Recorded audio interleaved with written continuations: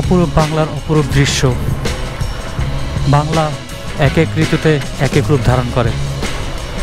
এখন বর্ষার সময়। আপনারা দেখতে পাচ্ছেন,